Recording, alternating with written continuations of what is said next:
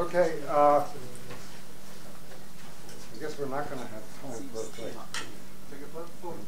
Nikita is coming, He's coming. on his way. Okay. No break. No, it wasn't. Maybe to.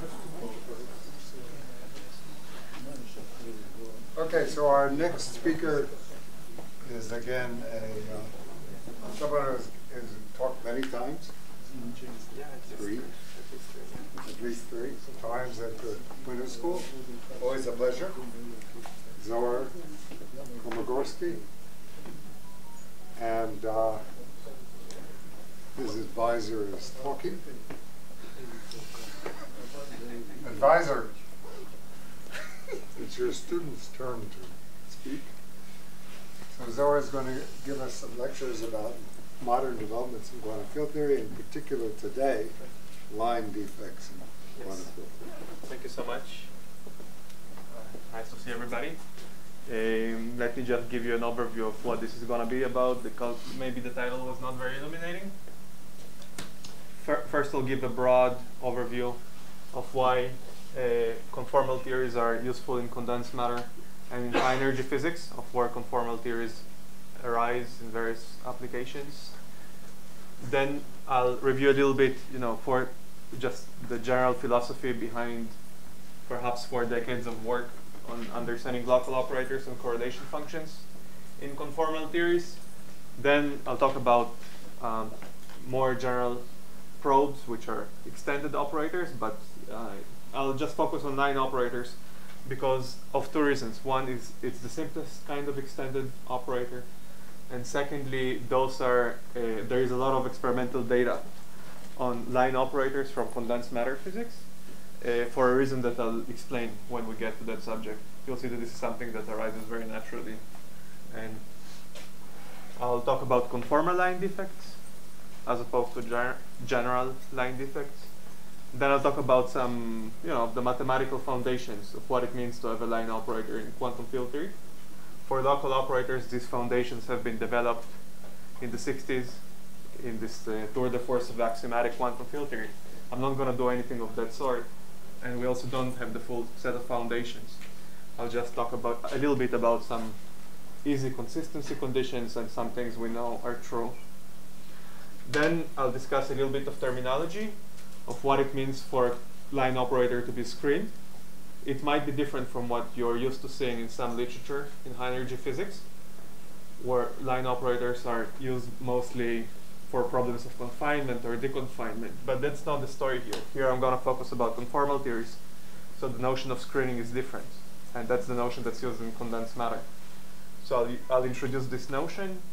I'll introduce a slightly weaker, well, a slightly more interesting class of line operators which are not screened but not completely non-trivial. And then there is the subject of RG flows and line operators uh, where I'll talk about entanglement entropy. I'll talk about general facts about RG flows and uh, some something that's called the G theorem or the quantum dimension theorem that uh, was developed over the last year, over this year, over 2022, basically in uh, the end of 2021. So this is quite recent, and the rest is more foundational. And once I finish that, uh, the second part of my talks will be about applications. So line operators, if you learn from a high energy physics perspective, you might know about Wilson lines, Hooft lines, but I'll just show you that there is a huge class of interesting line operators, even in simple scalar field theories that appear in condensed matter in various applications. And we'll discuss what's known about them, how we can try to solve them, and we'll see that there is very nice contact with other fields of science. Okay, so this is the plan. Uh, obviously, if there are any questions about anything I'm saying, just uh, raise your hand or just interrupt me, doesn't matter. Okay, so let me just give you the his historical development of this subject about conformal theories and local operators. So, uh, in the context of high energy physics, quantum field theory is believed to be important because we believe space-time is a continuous medium with Lorentz invariance, And quantum filter is like the only mathematically consistent framework that unifies relativity with quantum mechanics. So conformal filter is a special case of quantum filter where there is no mass gap. So there are massless excitations. And that's roughly speaking why in high energy physics we're interested in that subject. It's just the you know, mathematical underpinning of anything with a continuous space-time uh, obeying special relativity and quantum mechanics and where there is no gap. So there are massless particles. In condensed matter, this subject is also very interesting because it arises in the following way. So I'm just going to draw pictures always in 2 plus 1 dimensions because it's uh, much easier to draw. So most, uh, so in condensed matter, there is no light cone in toy models of condensed matter because these are some systems at finite density usually or something of that sort. So a class of models that condensed matter people are interested in are formulated using a Hamiltonian rather than an action. So for instance, a thing they could consider is just a bunch of, a, it's a lattice model. Maybe it's an approximation to some magnet. Uh, it's a lattice model where at each lattice site there is a Hilbert space. There is a Hilbert space uh, which is two-dimensional.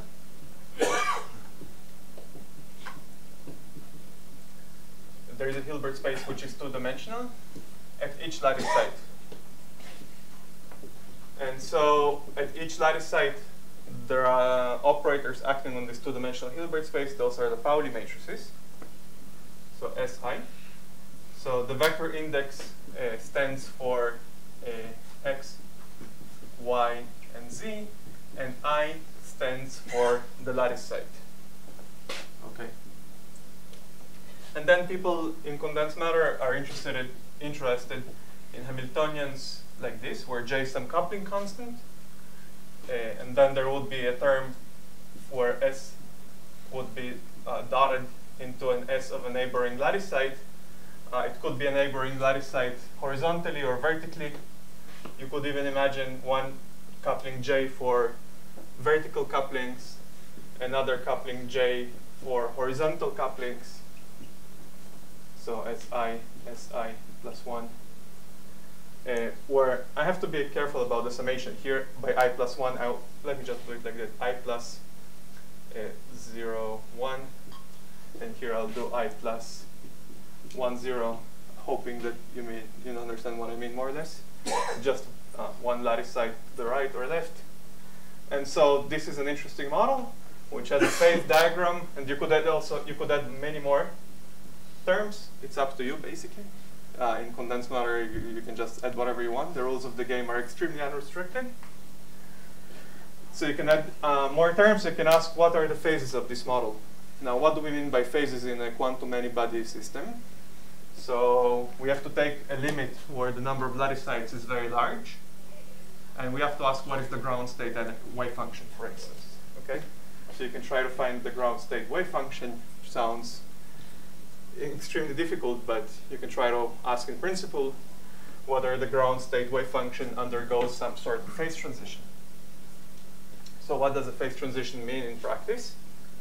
So you find the ground state wave function, then you can compute correlators. So in the ground, so let's call this ground state the vacuum. So you can compute correlators in the vacuum. So you could take a spin operator at location n, a spin operator at location 0. Let's say this is n. This is some arbitrary uh, location which I call 0. And you can ask, how does it behave as a function of the distance n?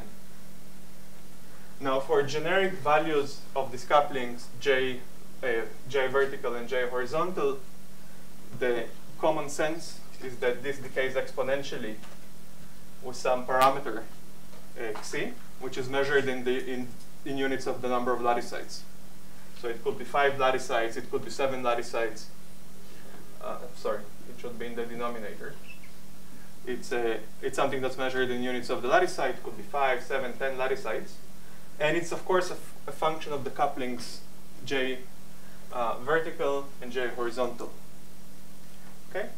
And you can also consider correlation functions of much more complicated uh, composite composites made out of the spin operators. And so how does CFT arise in this business? There is no light cone, there is no relativistic invariance. So the, the, the point is that for some special loci of the space of coupling constants, this parameter goes to infinity. So at some special points, let's say this is the plane of j and the other j, there could be some line where xi goes to infinity. And we say the correlation length goes to infinity. That's the terminology. This, this, this, this signifies a uh, second order phase transition. It could be third order, it could be higher, but at least second order phase transition. That's the definition of a second order zero temperature phase transition. Why zero temperature? Because it's just a property of the ground state. Second order uh, zero temperature phase transition.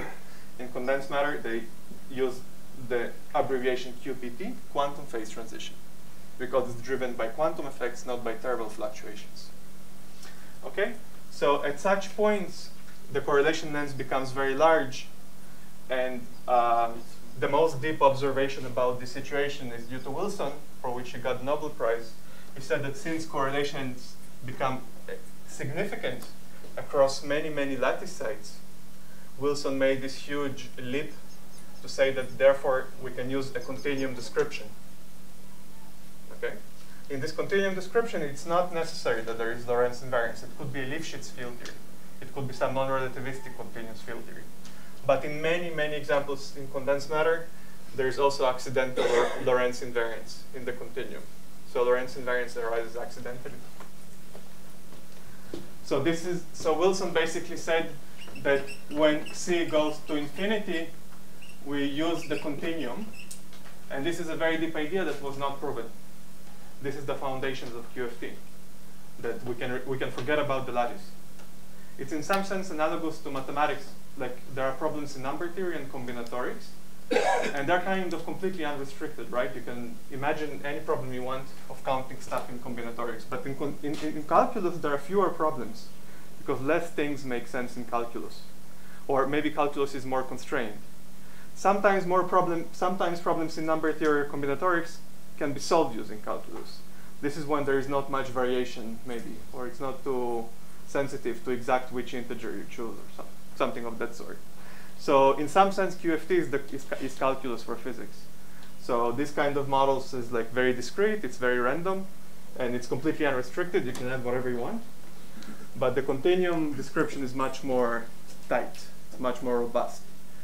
So we have a continuum limit. It was never proven, but we believe that's true. And this continuum limit is quantum field, is conformal field. Because when Xi is infinite, strictly speaking, we get a conformal field theory. You can go slightly away from strictly Xi equals infinity. So if you are here, not exactly on the line, but a little bit below or above the line, then you could use quantum field theory which is not yet exactly conformal, but there would be still some something in the continuum to be said. Uh, but I'll just be exactly on the second order phase transition in these lectures to simplify, so that we really have a conformal field theory with a light cone and SO d plus 1 comma 1 symmetry, where space-time, uh, in my notation, space-time is uh, d minus 1, is d-dimensional, d minus 1 space one time. So this is the symmetry group of conformal field theory. It's bigger than just the light cone symmetry, which is SO SOD minus 1 comma 1. Sorry, what did I do? Ah, sorry, I messed it up. Let me. Uh, I, I, I messed it up. Just give me a second. This is D, this is 2. Okay,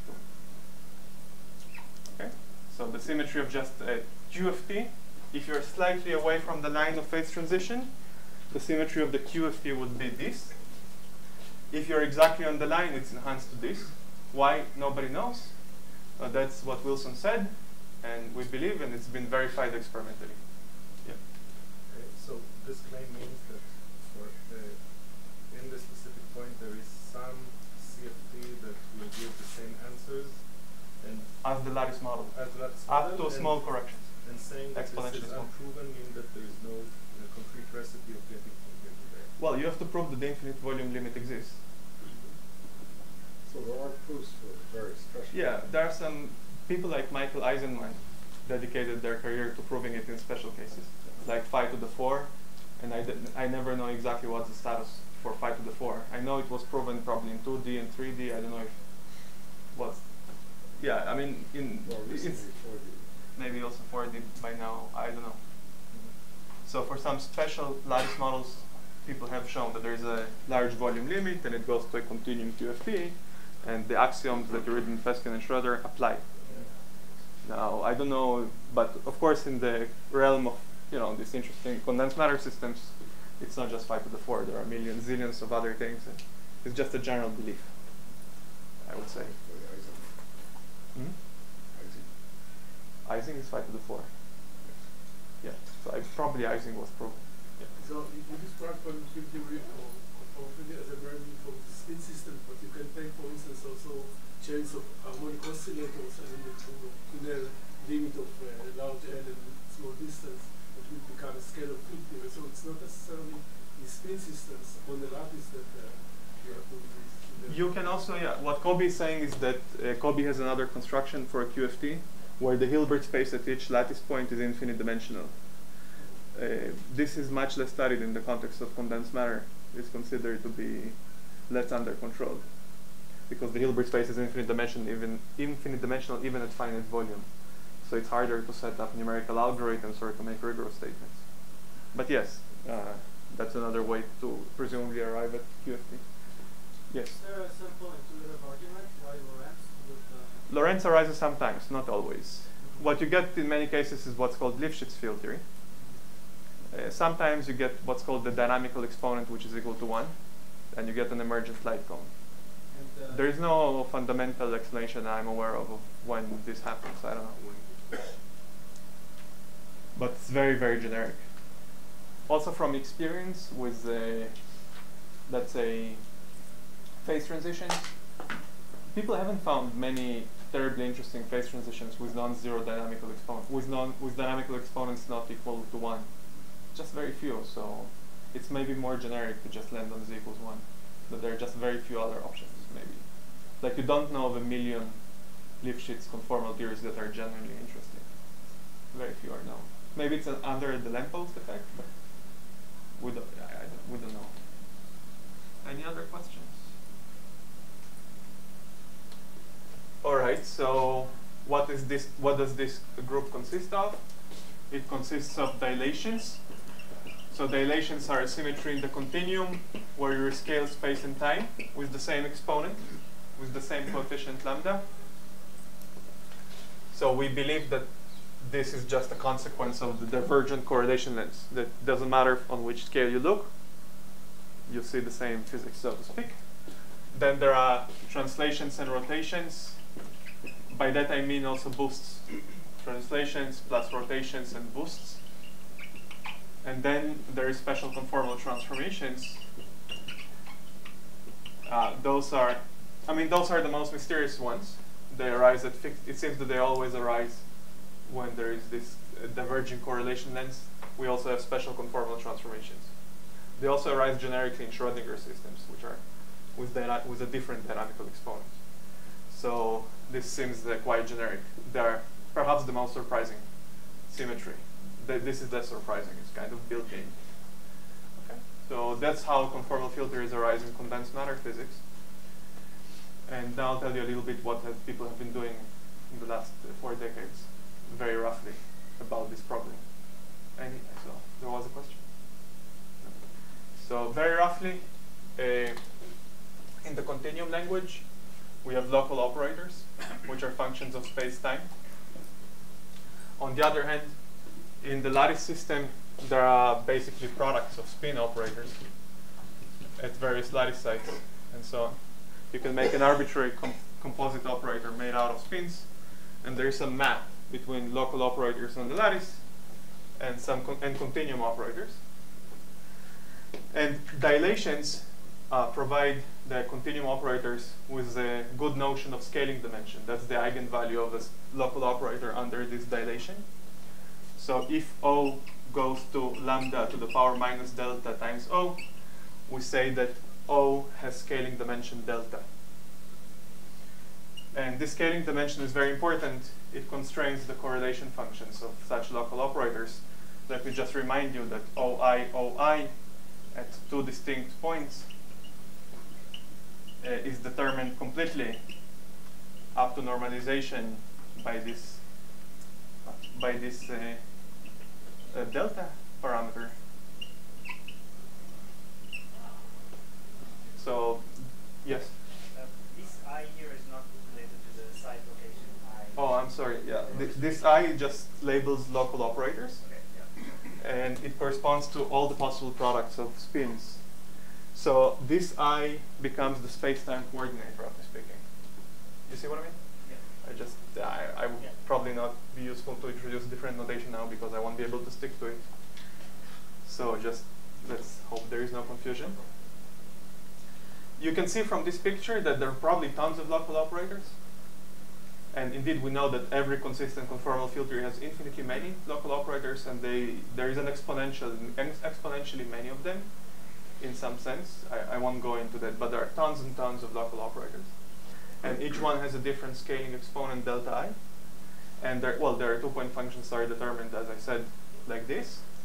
If you read classical books about the subject, the delta i's have Greek names: alpha, beta, gamma, delta, eta, nu their, they were called hyperscaling exponents or something like that in the 60s. But now we know that there are infinitely many deltas, and those seven letters just corresponded to the smallest possible deltas, numerically the smallest possible numbers, because they are the easiest to measure in experiment. And why are they the easiest to measure in experiment? Because correlation functions decay with some power of delta. So the smaller delta is, the slower would the correlation function decay. So it would be easier to measure. Measuring very large deltas is intrinsically difficult because you have to either come up with a very carefully concocted product of operators to have just one delta in the answer, or you have to make a very precise measurement because it's going to be numerically small.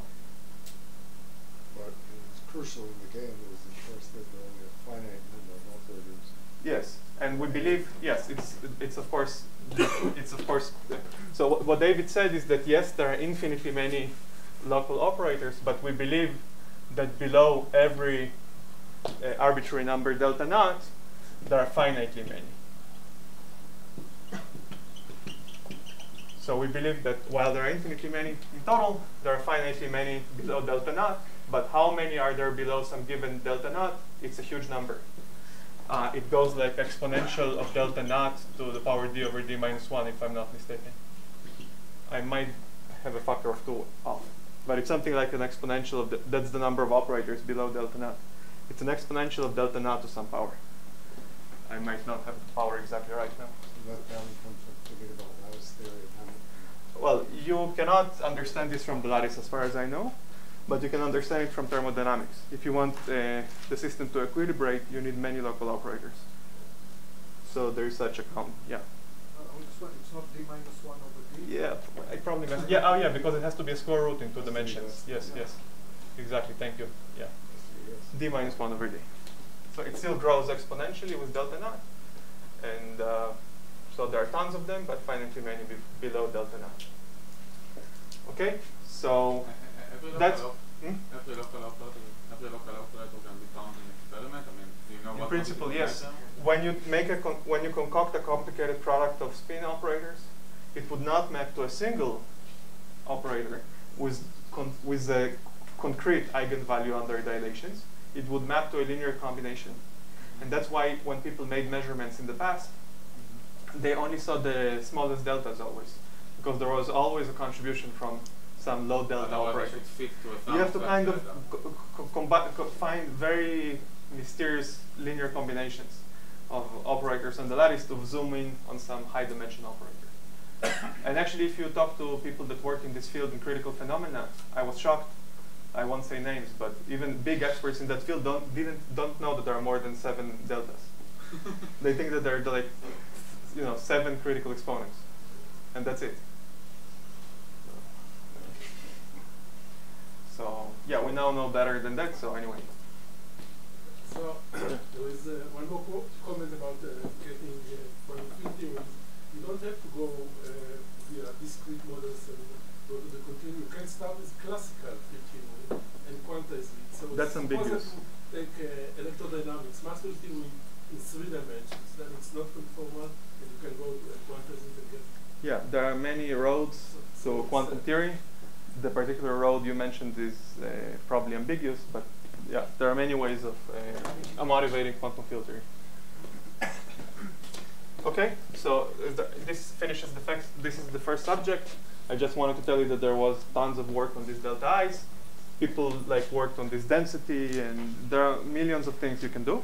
But I'm gonna tell you why lo- line operators uh, how they appear in experiment and what do we know about them theoretically. Are there any questions about these motivations? What is the precise between Yes, there- just a second, yes, go. what is the between these operators and the? Mm, it's not known in general. You have to measure it on the lattice. You have to try to combine, you know, make arbitrary linear combinations and try to find all the exponents and then construct the map. We don't have the exact map. Maybe in these models that Aizenman understood, there is a better understanding of the map, but I don't know actually. I'll be surprised if there is anything known about it. Yeah.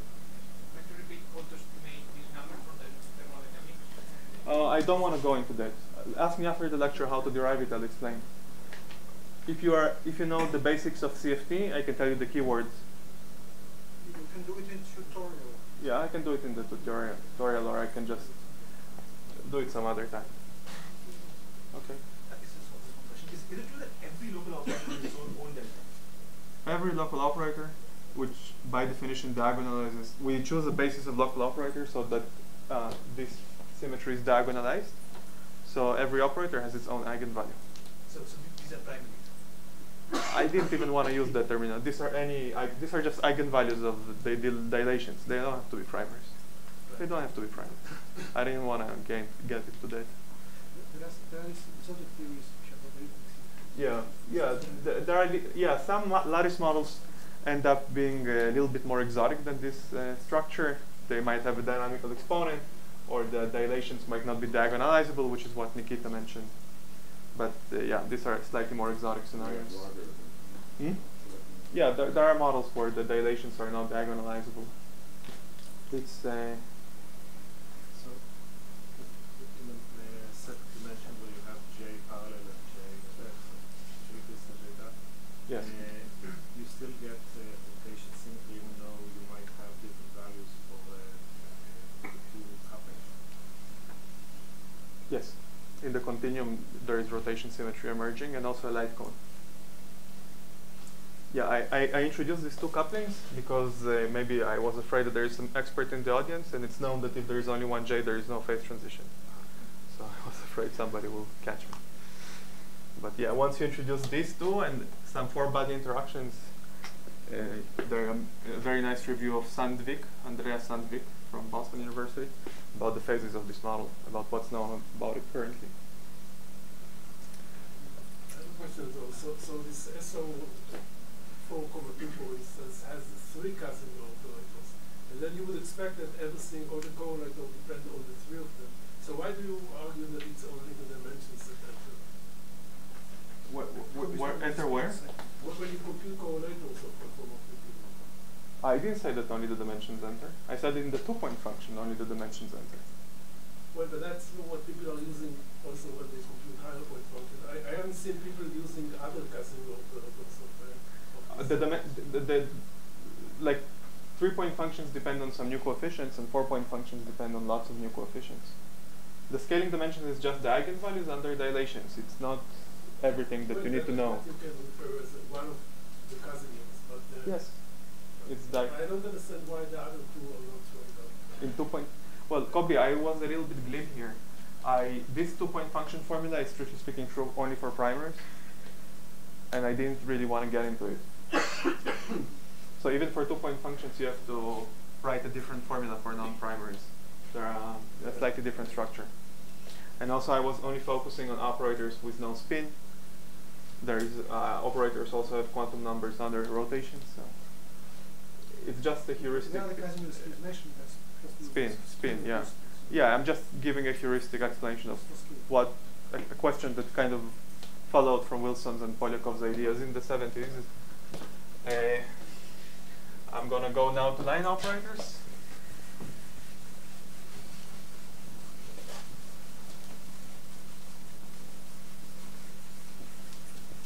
So in condensed matter, one nice question is to find correlation functions between products of spins. Right? You try to find correlation functions between these products of spins in the ground state wave function. But um, oftentimes in condensed matter, the system is considered not completely pure. So uh, from now on, the correlation length will be just set to infinity throughout. I'll be exactly at the phase transition point just to simplify the discussion and we can stay within the realm of uh, conformal field theory in the continuum. So in the condensed matter description, there could be a few lattices which are broken. Let's say four. It doesn't matter as long as it's a finite number. It's gonna be uh, it's gonna be the same. It's the same theory would apply. So there could be a few broken lattices.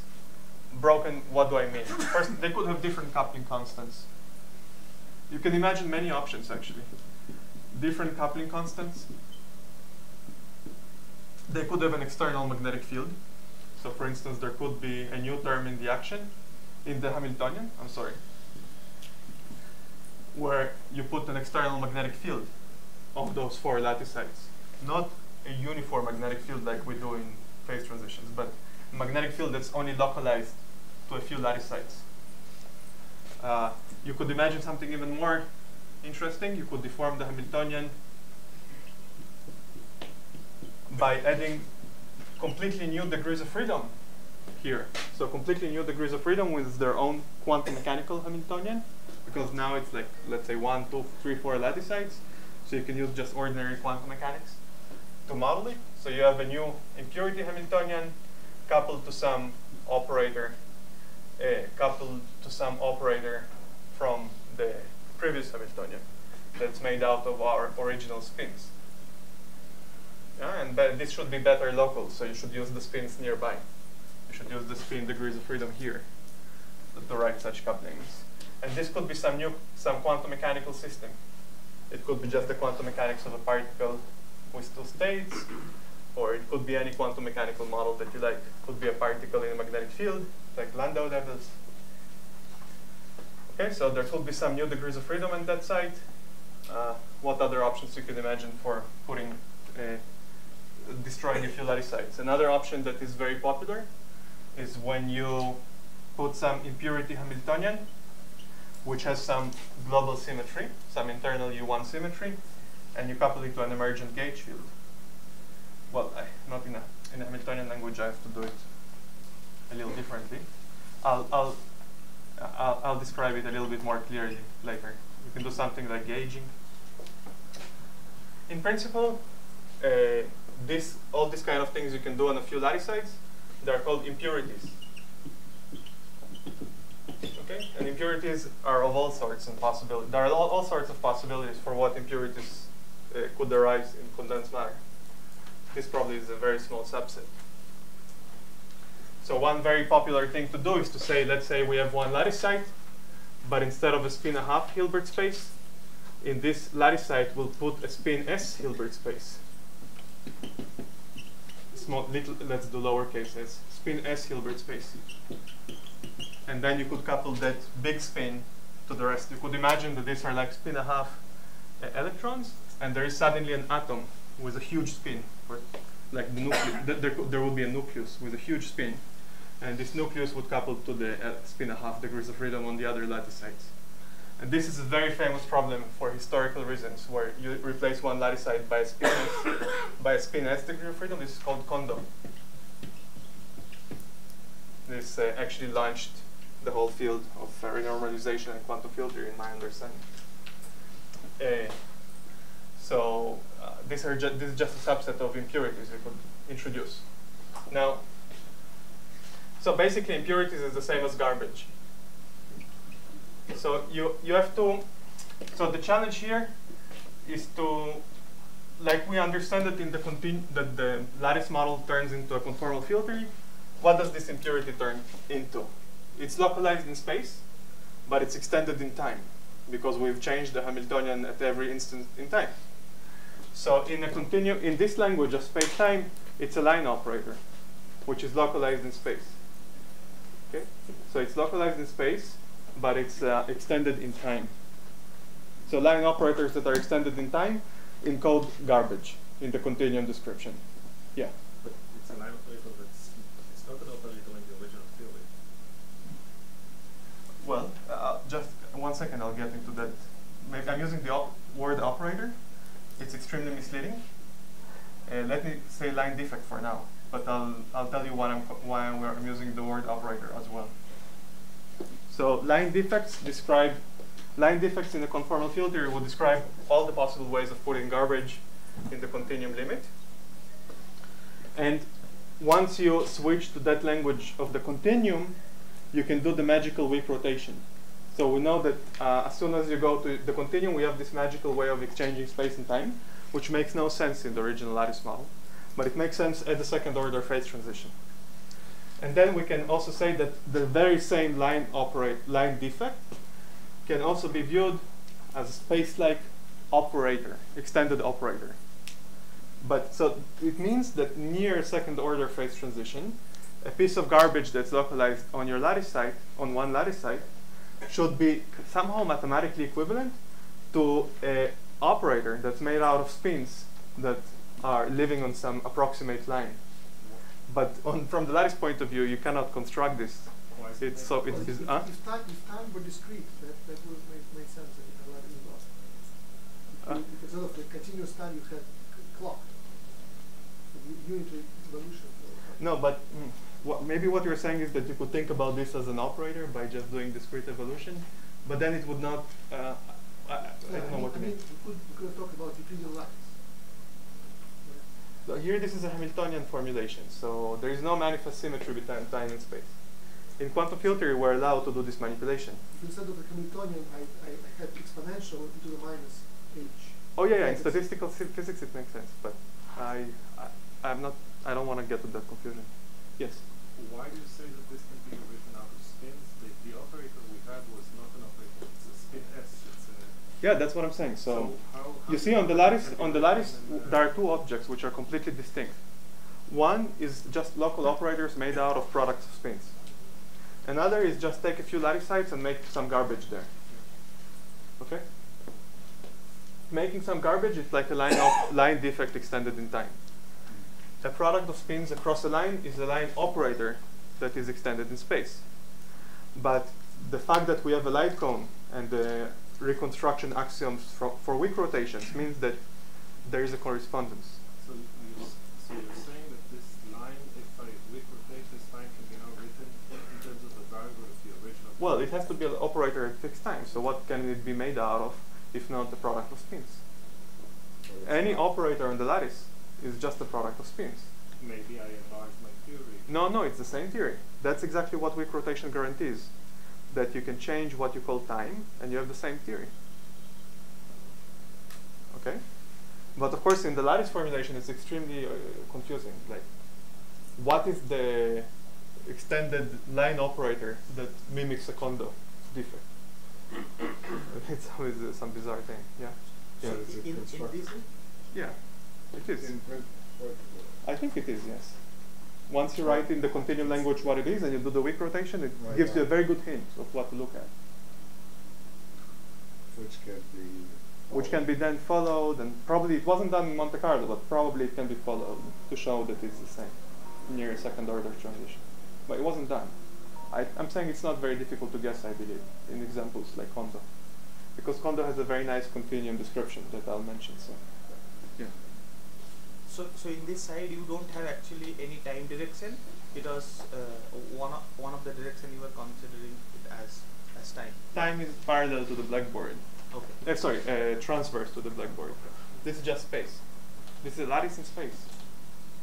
I was talking but, about but two plus one. But then the equivalence of this uh, constant in time operator turning into space operator, you should have a an instant you have the line operator and then it is com. Yes, exactly. Oh, so that's it's an operator on the Hilbert space. Okay.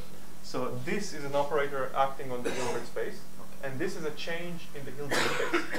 This theory has a new vacuum, a new Hilbert space, and completely different Hilbert space. The Hilbert space of this system with a spin s degree of freedom is not the same as even the original Hilbert space.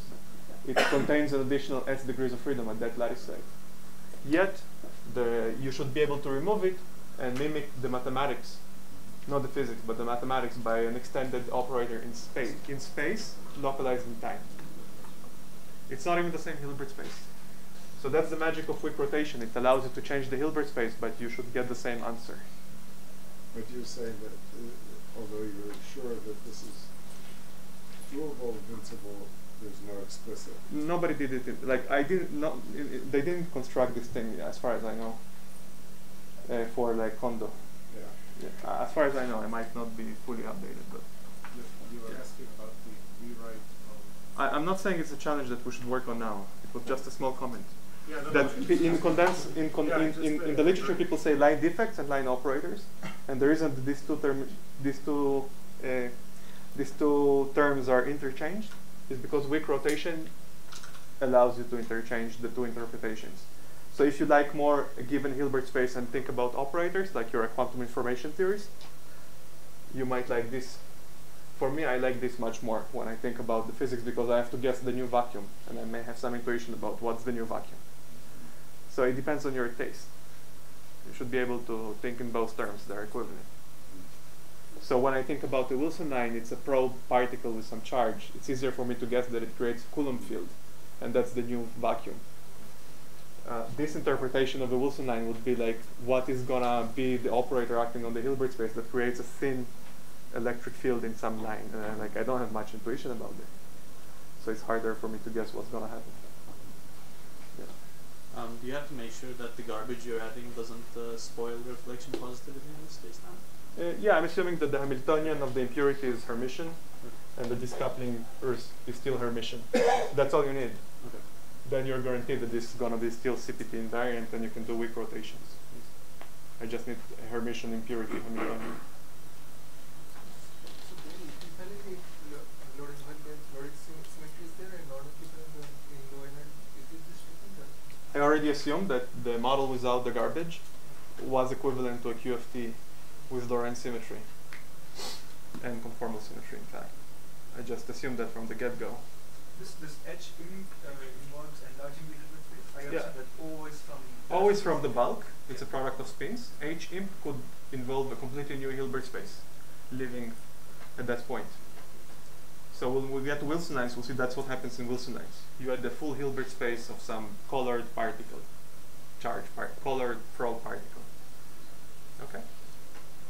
Or in Kondo, you had the Hilbert space of a spin S nucleus. So, just sorry, last question.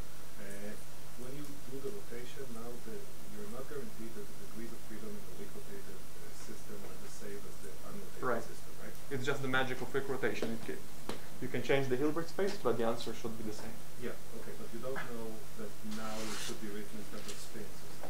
I do know because in this interpretation, my Hilbert space is the theory of the spins. It's just an extended operator in the theory of spins, right? I do know Yeah. that it should be possible to write it with just the usual. it's just extended along one line. Yes, it's extended along one line. If, if you, saw, do a rotation that is along some diagonal line? Yeah, then it would it would mean it would mean that it's that the physics is the same as the garbage piece that's moving. A moving garbage piece.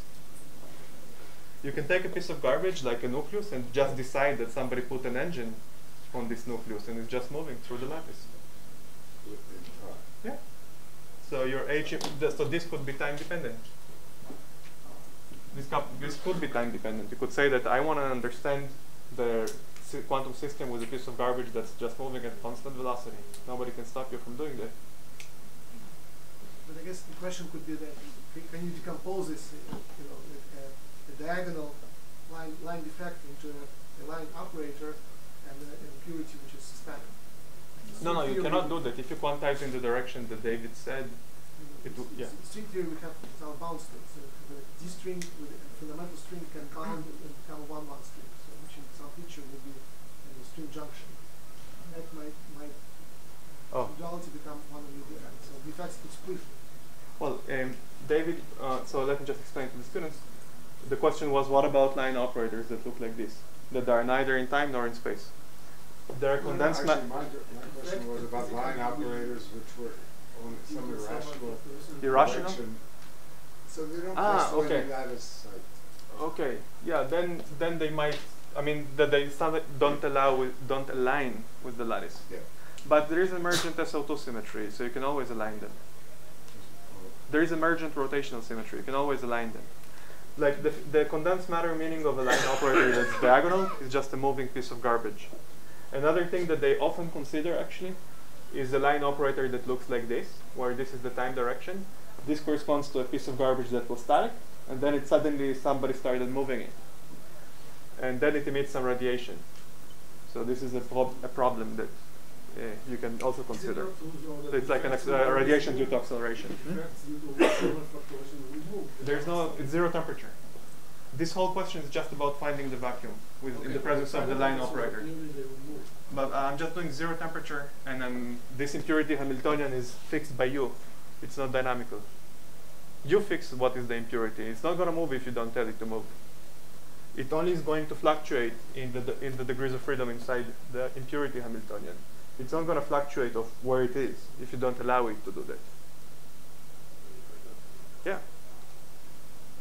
Is there any uh, restriction on Hilbert space size of the impurity? Uh, Usually in condensed matter, we like it to be finite because they just to like the to. original Pr- system? Hmm? Compared to the original system? No, you could take infinite S. It's a very famous uh, challenge to try to understand the infinite S limit. It's a um, very nice semi-classical limit actually. I want to talk about it in principle if I get to it. Any other questions? Okay, so this is why line defects are interesting. And now I want to. Uh, so in the bulk, uh, wh- when I say the bulk, it's not ADS-CFT. For me, this is the bulk and this is the impurity. Okay, so in the bulk, we've tuned to a second order phase transition. The line defect is just some random Hamiltonian that somebody decided to add. It's not going to be conformal from the get. It's not going to be conformal. So the pertinent question that we have to ask now is given a line operator, I'll take it to be extended in time because this is the uh, most physically appealing, maybe for me, uh, construction. What are the symmetries that you can preserve? Of course, once you have a defect in space, time, you're not gonna be able to preserve complete translations, rotations. So you're gonna preserve a subgroup. And you can try to preserve as many as possible. And if you do preserve as many as possible, we say that this impurity is conformal. So very much like in the bulk, in the bulk there were couplings like J vertical, J horizontal, we have to tune them. Similarly, inside the impurity Hamiltonian there will be lots of new J's, lots of new couplings, and there, those there could be some also couplings here between the bulk operator and the impurity Hamiltonian. We also have to tune them to get to a conformal line operator. Is that clear? So even though the bulk is conformal, it doesn't mean that the impurity is conformal. The impurity would be conformal in the infrared. Or it could be conformal because you've tuned the couplings to be conformal. So let's discuss, the, this is the notion of the conformal line defect. So in conformal filtering, not every line operator is conformal. You have to tune something or flow to the infrared. Can you give an example? An example? I- I'll give many examples, but now I just want to develop the theory. So, so what are the symmetries that you can preserve if you have a, an extended in time line operator? You can preserve dilations. Everybody agrees? It preserves the location of the line. Can you suggest more symmetries? Rotations around the line. Rotations around the line. Which group does this furnish? So, SO? two to Two. No. Well, let's do Yeah, D, two D, one. D minus 1. Yeah. Ah.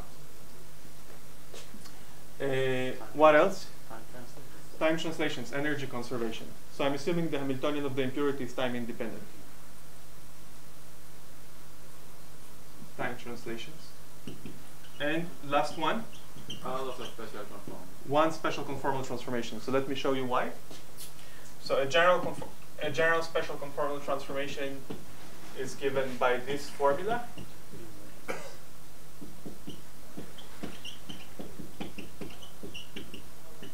This is a general conformal transformation labeled by a parameter b in space-time.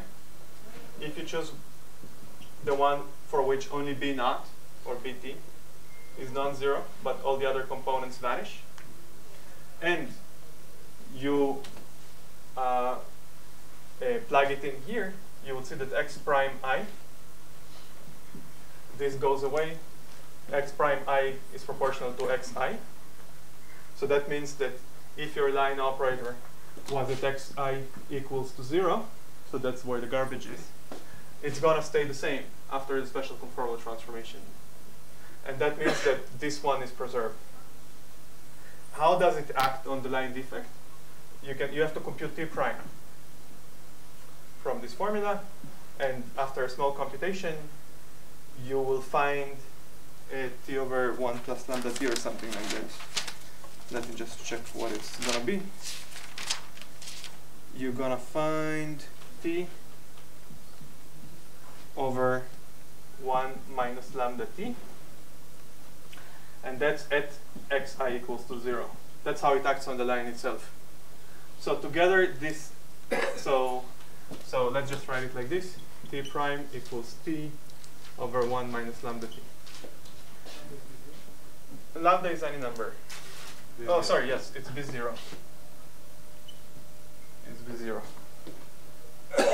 bt. bt. Okay? So what does this group, uh, wh what is this group? How about boost and Uh, boost. Well, for boost, you have to choose a direction to boost in. Which direction do you want to boost in? You cannot boost in time. Yeah, you have to choose a space-like direction to boost in. That's not going to work. So, so this, this, and this together give SL2R, and this gives SL2. Uh, sorry, SLD minus 1. SLD minus 1. Okay, so this is what I'm going to call in this lecture as a conformal line operator. It's not the most general thing. You can imagine that some impurities break rotational symmetry. You can imagine that the impurity carries some internal spin. Uh, I, people constructed such in the literature. I'm not going to use it in this very much, but just bear this issue in mind. I'll just put it in parentheses. It's not strictly necessary for an impurity to be conformal that it has rotation, transverse rotations. Okay, so these are the symmetries of a conformal line defect. If you start from a general line defect where the coupling constants were not tuned, it will not obey SL2R. You have to flow to the infrared, which in a sense I'll explain. You have to just go to long distances from the impurity, replace it by an effective impurity, and eventually it will be conformal. So basically, you, any impurity is believed to flow eventually to a conformal impurity. By flow, you have to do something like an RG flow and a line defect. I'll discuss what it means later. So just qualitatively, that's what you should expect. Yeah. You could also add different line, uh, different uh, uh, uh, constructions of defects to preserve different symmetries, right? If you, if, let's say you put some the lattice of defects, now you partially preserve Yeah, you could do lattices of defects, and I'm not going to discuss it here. I'm just discussing one, one line operator. You can do a network of lines, and Yeah, but I don't, I don't want to discuss it. Yes. Are the symmetries that are broken explicitly or spontaneously? The other ones? Like when you can wiggle the defect and have bonus. Okay. So, it's an excellent question. Are the other symmetries broken explicitly or spontaneously? So, let's say translational symmetry. Let's talk about, you'll see that we have to discuss this question, but let's just talk about translational symmetries. Parallel, uh, transverse to the line. Uh, In this system, you don't really expect momentum to be conserved, obviously, because there is an impurity. You can scatter off the impurity. So you should really think about it as being explicitly broken. There are no phonons for the following reason. A phonon would be the situation that this line is allowed to fluctuate. But this line is not allowed to fluctuate. It's a piece of garbage that we hold at place. If this piece of garbage was made dynamical, it would be kind of spontaneous breaking. But it's not made dynamical. It's located at a specific point, so it cannot vibrate and cannot emit phonons. So you should really think about it as explicitly broken. But it could be that. If you have a string, you Yeah, know, it and needs it's- to- Just it's- whoa, whoa, Overload on my uh, small brain. I Yes. think the, the picture on the other hand where it's extended in the spatial direction, it does break uh, and has a... No, then it's a local. It's an operator. When we say something breaks or it doesn't break a symmetry, it's a property of the vacuum. It's not a property of a local operator. Uh, sorry, of an operator. So the question here, I interpreted the question what was whether the vacuum in the presence of this defect has uh, gapless modes from translational symmetry, and the answer is no. There is just no con momentum that's conserved, no conserved momentum here. Yeah. So when you consider in string theory a long string, then the Yeah, but a long string is not an external defect. It's an excitation of the system. Right. So it's not an uh, it's not an external defect. Yeah. Just to entry with a simple example, I mean, like in one plus one dimension, for instance, the simplest example for that would be the turn periodic boundary conditions to uh, open boundary conditions. Uh, You mean as, as you want the lattice example, or a QFT No. example? filter. A filter example. So I'll uh, Amit wants a filter example. I'll give, I'll give you one, just that you have something to think about before I tell you what is the answer to that example. The simplest example. Simplest example. Uh, Ising one 2D is okay. Okay. Uh, you start from the Ising 2D. It's 1 plus 1D. Yeah. So there is a special local operator called sigma, which has dimension 16, 1 over 16, comma 1 over 16. It's fine. Yeah? You integrate it, you add to the action of the Ising model an integral of sigma of t times dt uh, at, x, at x equals to 0. So if you want, I'll write, I'll write it as dx dt times a delta function in x. You integrate sigma on. Huh? Is this good example or no? Yes, but it's not the simplest. right? It is the simplest. It's the Ising 2D. It's 2D Ising. Suppose I take a scalar field. He wants the example for the free boson. Yes, a free boson. Oh, this is a free fermion. no, it's a boson. So for the free boson, it will be. Free boson. I can write an exponential of x. yeah, I can write. You can do an exponential of x. No, but this is a very interesting example. It, Sure, it corresponds to turning on external magnetic field at one point in the Ising chain. Um, so it's a term in the action. If you want to think, I wrote it as a term in the action, modeling a piece of garbage. You can also write it as a line operator in the language of high energy physics. It's a path-ordered exponential of the integral of sigma dt. If you ever saw the formulas of you know, David's formulas for this BPS Wilson lines, they have a scalar piece. This is like the scalar, just the scalar, no gauge field. It's just a path-ordered exponential of the scalar of the Ising model times dt. Amit wants, wants uh, an interface. This is an interface. This has two sides. You, you're an operator. Like No, this is the line operator. Some boundary conditions. This is the line operator, literally. It's a line operator. You see, it's an integral over time at a given point in space. So what I had in mind is, I took in string so uh, it's also strings in Kaiser. So uh, closed string versus open string. So for closed string, I have SO2 generated by F0 at Yes, minus yes. 1 and Yeah, you can think about the boundary then condition. If I put open boundary conditions, it's going Yeah. to the diagonal. Yes, yes. Is that an example for? No. I'm not talking about. Uh, so you're what you're talking about is a quantum system with some degrees of freedom, and then a quantum system with some other degrees of freedom. So it's an, what you're talking about is an interface between two different theories. I see. I'm talking about line operators in a Okay, I given theory. the. Uh, just I, you could also talk about this. I just don't want to overcomplicate the discussion. No, I want to keep it in some. Okay, But if you want to ask yourself, what is the simplest line operator you can imagine, this is the answer. It's the scalar, the scalar integral of the Ising model. Okay. And we actually know everything about the infrared limit of this. So I have just a question. In, qua- in quantum field theory in general, one evolved from saying that uh, fields either flow in the infrared to a to a conformal theory or to a topological theory. yes. Is there also the possibility to go to a topological impurity? Yeah, so one, this is exactly the next topic. What I'm, I'm now go discussing conformal impurities in general. Sometimes the conformal impurity would be trivial conformal impurity. That's this next. This is this subject. So I'm going to give you the exact definition so the of what it means. non-trivial will be topological. When you say non-trivial. So there are three options for the infrared: non-trivial conformal, topological, or string slash trivial. But I'll define what it means carefully. Yep. Any other questions? Okay, uh, just a second. Where was I? Oh, so we have this. Uh, so the infrared is some conformal impurity with these symmetries: SO2R times SOD minus one. In this example, if you've understood this example, it's not conformal from the get-go. There is an RG flow. The G flows to some fixed point G, and then the line becomes conformal. So you can also tune this G to some G star, and then it will be exactly conformal from the get-go. But if you don't tune, it's just gonna flow to a conformal fixed point. There will be a beta function for G, so to speak. But now I, I, I want to discuss RG flows later. First, I want to discuss the symmetries of a conformal impurity and what are the consistency conditions. These two subgroups, they don't come into it. These two subgroups, Yeah, they don't come into it. they do. Why not? Uh, dilatation, They do. Dilatation with rotations. There's- Dilation commutes with rotations. Okay, okay, yeah, Yeah. Doesn't commute with spatial translation. right, right,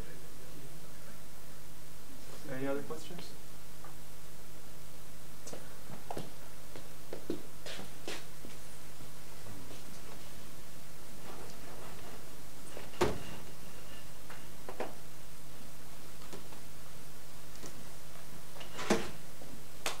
Okay, now I'll tell you a little bit about the axioms of these conformal impurities. So now I'm discussing this topic, the consistency equations. So in this picture, where it's extended in time, a very natural idea is that we have bulk operators, which I denote OIXT, but you should also bear in mind that there could be local degrees of freedom on the line, like in the Kondo problem or the Wilson line. There could be some intrinsic local degrees of freedom on the line, on the defect itself, on the impurity, because you've just introduced uh, an impurity Hilbert space. So there are some operators O hat, but they are just functions of time. And they're also labeled by some index that I'll call I, just sloppily. It's not the same index. There is no connection a priori. Me just capitalize. there is a priori no relation whatsoever between these operators and these operators. It's not the same set. It's not the same density. I tell you that the density of those operators is e to the delta d minus 1 over d.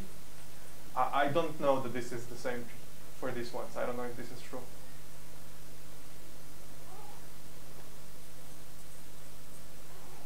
Yeah, I, I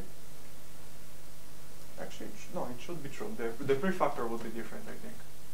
No, thi- this should be true. Least the density should be the same, but the prefactor should be different. But in principle, I don't know of any relationship between these two sets of operators. But they still talk to each other. There's so the main consistency condition is that they kind of talk to each other, and this talking to each other is called the boundary, the bulk defect OP. That's the main idea. So you know about the idea that if you take a product of two local operators in the bulk, you can expand them in local operators. The bulk defect OP is the is the idea that OI of x and t can be Taylor expanded in defect operators when it's very close to the defect. So the idea is that hitting the bulk with the local operator is somehow equivalent to hitting the defect with defect operators when they're near sufficiently close by. So you do a Taylor expansion like O I hat T at the same time, but then you have to put scaling dimensions corresponding to the bulk operators minus the scaling dimensions of defect operators, which I put a head on. The scaling dimensions of the bulk operators are delta, and the scaling dimensions of defect operators are delta hat. They have nothing to do with each other. It's a new set of scaling dimensions. So, but you should still imagine that there is an expansion like this with some unknown coefficients, ai, that depend on little i, of course. So this is the main axiom. This is the main idea that you can expand bulk operators in terms of different operators, and it should be convergent. From the OP analogy, I should expect it should be OI times an operator on the line defect that you can expand it. Can you say again? I mean, I would expect with the analogy of the OP that uh, product of an operator close to the different times operator on the defect would be such a sum. But That's also true. If you take a product of uh, this and this, you can use this expansion, take the product of this expansion with a defect operator and rewrite it as a sum of this is like operators. stronger, uh, it feels to me like stronger. This is stronger because this implies what you said. Yeah. So this this axiom is uh, the main axiom. It allows you to expand bulk, bulk operators in terms of defect operators. And the most interesting thing that people actually measure uh, when they discuss this kind of set setup with an impurity or a piece of garbage is the unit operator here. So there is a special coefficient corresponding to the unit operator where the power is just x to the delta i plus other terms. And this coefficient is what people have most data about, just speaking practically. This was measured in many defects, including in this one that I gave you here. So this coefficient, a uh, question. So, so you can describe these uh, defects by adding to the action a one-dimensional action, right? The tau, integral of something. Now that that something has to be necessarily conformal, no, I'm assuming it's conformal now. right? But in principle, you can. In principle, we will, there is an RG flow on the line defect. Here there is also an RG flow on the line defect. It's not going to be conformal out of the box. You have to tune the couplings like you do in the bulk. So this first coefficient is the most important experimentally because this first coefficient tells you the one-point function in the bulk. You can read out the one-point function immediately. So the, the one-point function of a local bulk operator distance x away, distance x away from the defect is this coefficient divided by the distance to some power. And that's what people measure. So of course the defect doesn't make a huge influence very far away from itself, but the influence decays algebraically. And that's what you gotta measure. This is one piece of data. Are there any questions about this one-point function? Under the defect operators and the bulk operators, different theories? Not different theories, different sets of operators.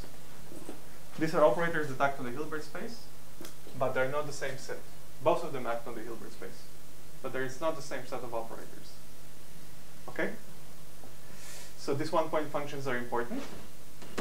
I want to tell you two things, two more things about the conformal defect case, So this also and then we'll go to this. Yeah. sorry, this also like implies that like around the defect, does this imply that like there's basically the, the entire degrees of freedom just come from the defect and nothing else? Like this looks like it determines the uh, OP of two This, the but when you say this, you mean this or this? um, that yes the, uh, the, Th- this the one? axiom yes. What about it? Um, it looks like the uh, I mean cl- close to the defect, the only thing that matters is the defect operators and nothing else. you can expand bulk operators in terms of defect operators. That's all I can say. But this provides a very strong consistency check, a consistency condition on any. I'm, I'm now talking a little bit in the language of the bootstrap. Yeah. So, suppose you have a Green's function in the bulk. This is the defect, and you have a Green's function in the bulk between two points. So this provides two ways of computing this Green's function. I don't want to go into it, but one is to OPE them in the bulk first, and then use the bulk defect OPE, and then read out the coefficient AI, because that's the only thing that's going to survive in that channel. Or first you can do, uh, you can first expand each of them in defect operators, and then OP them on the defect. Yes. This seems like a consistency condition on conformal defects, but in practice it's proved to be very, very weak because there is no positivity. No one says that this coefficient has to be positive. So there is no positivity in this channel. And if you remember in the bootstrap, there was a lot of progress because of positivity. And here there is no positivity because of the one-point functions. So people have not been able to make progress to so- sort of somehow bootstrap the problem. Seems very difficult. Maybe you need two line operators to make it positive, but then maybe you've uh, entered a whole bunch of new complications. Any other questions? It is positive, yes. That's very good actually because uh, this expansion should be good near the defect. So higher dimension defect operators are going to be more and more suppressed. Yeah, it's very good that it actually turns negative. So there will be only few singular terms coming from low dimension defect operators. And what is the capital I value for the the last Capital I just labels defect operators. Wh- which one contributes? The lowest one. You say. Yeah, the lowest defect operators would be the most important in the expansion. In particular, the unit operator on the defect Oh, you need it. is the most important. It determines the one-point functions. What is the one point function when, when there is no defect? Guess. Well, it's zero, but it, Yes. it doesn't make So when there is no, when the defect is trivial, I mean the piece of garbage could be just, there could be no piece of garbage. It's a trivial defect. When the defect is trivial, AI is zero, of course. Right, but physically, why should the uh, system spins have a non vanishing one point function? It's because at the conform at the second order phase transition, there is no scale, so the one point function vanishes if there is no defect. I have 15 more minutes. I just wanna uh, make two more remarks about this SL2 symmetry and what it teaches us, and then go to the question of screening, of what screening means. So remark number one. Uh, just two more remarks. Remark, remark number one is that a kind of important one-point function to write down that appears in the literature is the one-point function of the energy momentum tensor in the presence of, presence of a defect. So it's a small exercise for you. This is my the only exercise for today. Try to determine it. It's determined by one coefficient. You can use symmetries, conservation. So using symmetries, uh, assume rotational invariance. Assume SLD minus 1. Using symmetries and using conservation, uh, determine the whole correlation, the whole one-point function of T mu nu in terms of one coefficient. This coefficient is usually called h in the literature. Determine this one-point function. Okay. So you can, I mean, there are many components, but you can just fix it by symmetries and conservation. This is the first point. I'll use that when I discuss entanglement entropy. So it would be a good idea to work it out today if you have time. It's not going to take more than 15, 20 minutes. The second remark is that one special operator on the defect that is completely universal is called the displacement operator. There is a very special operator on the defect that is completely universal. It appears in every defect that we will study. It's called it's called d hat of t, namely the displacement displacement operator. So what why is this why such an operator exists? Because there should be some operator on the defect whose physical meaning is to change the shape of the line a little bit. So once you've solved the straight, the, gar- the piece of garbage that's not moving, you may want to move it a little bit for some short period of time and let it come back. So these deformations of the straight line are described by a very universal operator that's called the displacement operator. And it has scaling dimension 2. It appears universally in every defect It's a vector. con- that's conformal. It's a vector, very good, I forgot. An index uh, xi, so that also was i, right? xi, so it's a vector in this direction. You say in which direction you want to deform the line, and you just add the defect operator at that instant in time in which you want to deform that line a little bit. Okay, So it's a very universal operator. You can also understand why it appears. So this is the closest thing to somebody asked about uh, phonons. So this is like the analog of a phonon, if you think. It's not something that the line would not change its shape spontaneously, but if you want to change its shape, you have a very universal operator that does that. So you can think about where does this come from. It's because the energy momentum tensor is not going to be conserved in these components because we've broken translational symmetry. So you get a delta function in d minus 1 coordinates times di. So that's the non-perturbative definition of this displacement operator. It just measures the violation of translational symmetry due to the displacement, due to the line defect. Right? So this has dimension d, this has dimension t plus 1, this has dimension d minus 1, so therefore this has to have dimension 2. That's exactly, that exactly works out. So uh, that's why such a universal operator exists. Uh, so this is it for SL2R invariant defects for now. Uh, I'm just gonna tell you what screening is. what do people say that uh, some impurity is screened? When people say that an impurity is screened, what do they mean? So, so you could say that uh, if all the one-point functions vanish, one-point functions won't be able to see the defect. In fact, if all the one-point functions vanish, it means that this channel is trivial. You see, because any Green's function would not see the defect. So Green's functions in the so more precisely, Green's functions in the presence of the defect would be equal to Green's functions without the defect.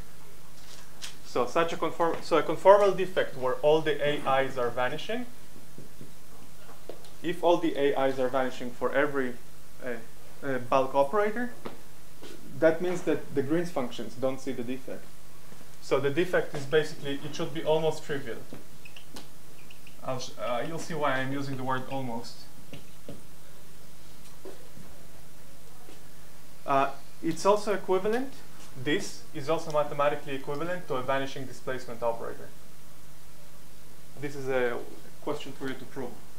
I don't know if it's proven in the literature, but it's kind of obvious. Maybe just devise the argument. If the displacement operator vanishes as a quantum operator, it implies that all the AIs have to vanish. Uh, Does anybody see the proof? It vanishes, it consists of some other operators, it's not fundamental operator? Second. The displacement operator. Oh, when I say that AI is vanish, I mean except for the bulk unit operator, of course. Of course, the unit operator in the bulk always have will always have expectation value one. So its AI is not vanishing by this definition. So I mean all the non-trivial bulk operators have a zero one point function. That's the same as a vanishing displacement operator, as an operator vanishing. And it's the and it's, it's the same as saying the defect is almost trivial, uh, almost screened. What was the question though? Does anybody see the proof of why vanishing one-point functions and vanishing displacement operator should be the same? I guess I can compute the correlation function including B and then show that there's operator equation. But how? What's the idea? Like, why would that be true? Uh, because I mean, you see, once the one-point function is non-vanishing, you know where the defect is. Like, the denominator depends on the distance from you to the defect. If you could move the defect uh, not paying any price, which is this, this, this thing, then how would this be non-zero? It wouldn't make any sense. So it's almost because it have some topological effect or something? Yeah, exactly. So the almost stands for topological. A line operator could have no displacement operator, could be just, you could move it with no price. Uh, it could have no one-point functions, but it would have some braiding or some topological stuff could, could be going on. So, so now it's a little bit a matter of semantics. Uh, it's a little bit matter of semantics, but in this course, just I'm just saying it for the recording to be clear. Um, uh, anything anything like this, I'll just be called I'll call that screen. But you should be aware you should be aware that this terminology is not completely 100% precise because it could be that the line operator has no displacement operator, so it's kind of trivial, but it still has non-trivial expectation values when the line, for instance, uh, uh, does this braiding thing. You know, when the line does this, sorry, now it has to be like this. So if, for instance, the line is, now it has to go from above. Yeah, so for instance, a line like this, I don't know, could, could have a non-zero, ex- non-trivial expectation value that depends on the number of twists or something like this, even though it has zero displacement operator. So there could be topolo- topology in line operators, but I'm gonna just call those screens because you cannot see them in experiments where you measure correlation functions or Green's functions. By AI equals zero, you mean only with big I is the identity or all, all of them? AI is defined like this. So can you It's when big I is the identity, yes, yes. so Can you, you can have non-zero with high orders and No, I think that if all the one-point functions of bulk operators vanish, it means that all of those coefficients vanish for all capital I. Well, but I, I, I mean, that that it's not like they're vanished, they're just trivial. Suppose you have no defect. Well, what is this expansion? It's Taylor's expansion, then. I'm asking on the other direction. Okay, what's the question? If it is trivial, then all the, uh, uh, I- all the, all the, that is If and only only if. If and only if. The defect is called trivial if and only if all the one-point functions vanish, except for the unit operator. But the one point functions only care about the unit operator. On the defect. Yeah, so if, yeah, so you, you can just imagine a case where the unit operator has all AIs, for, uh, well, the, yeah, the unit operator has all AIs for uh, equal to zero, but higher order guys are non-zero. But that's necessary. Uh, let me explain again. Otherwise, the defect. No, no, no. So what is a trivial? Uh, what is a trivial defect? A trivial defect is a, a line that you draw, but there is nothing there. It's the unit operator. So how does the bulk defect OP look like for such a line? It's the Taylor expansion. X i of t is the sum of x to the power k dko. But k runs not from zero. Ah, so k runs from zero to infinity. That it's this is a trivial defect that you just like there is nothing there, so the bulk defect OP is just Taylor's expansion. So then the O heads are derivatives of bulk operators, and the delta heads are just k plus delta. So you cannot expect that all the AI capital I vanish. That makes no sense. Yeah, because you can always just move the, like, move your of do a expansion. A trivial defect is the unit operator, that's what it is. So the statement of a bulk defect OP is just this for a trivial defect. Kind so you cannot expect that all those coefficients would vanish. That would make sense. Because that would also mean that bulk Green's functions vanish. You can only, so that's why I'm demanding that these coefficients vanish. Because they don't appear in those in that expansion. You that the only solution is eventually bulk is zero? Only solution to what?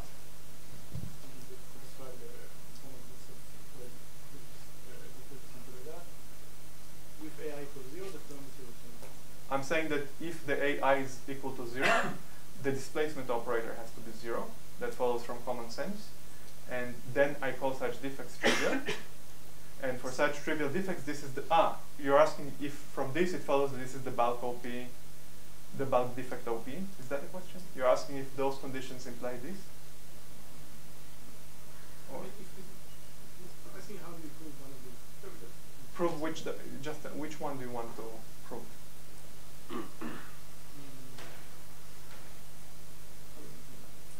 One- are there are there almost trivial defects Yes, for which uh, that general Taylor expansion you wrote on the right, this one. yes, is not equal to the thing on the left. Yes. Okay. So this is an, this is the this is the contentful question, and to me it seems obvious that the answer is no, because if the displacement operator vanishes, this has to be true. There cannot be if the displacement operator vanishes, it means that you cannot possibly know where the defect is. So Taylor's expansion has to be true. So to me it looks at the level of a physics argument obvious that all these implications are correct. But to tell you that somebody like s- prove it? I don't know. It looks obvious. So I think we're gonna have, Okay. since we lack time for the break, it's a good time to stop there, Yeah. even though we didn't get to the last. Yeah, it's okay. I'll do it tomorrow. Tomorrow, uh, Zohar is gonna give the first talk tomorrow with a rearranged schedule. Which Yeah. isn't yet started and finished yet, but at least the first talk will be Zohar, who we can now thank.